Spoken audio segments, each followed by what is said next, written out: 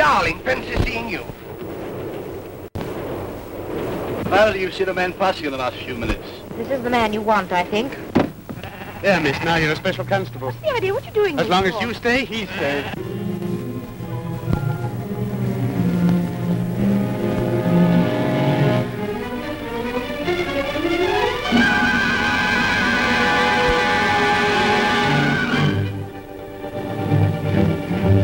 I demand that you allow me to telephone to the High Commissioner for Canada in London. You better do that from London. You'll be there soon enough. I have the honor in presenting to you one of the most remarkable men in the world, Mr. Memory. What are the 29 steps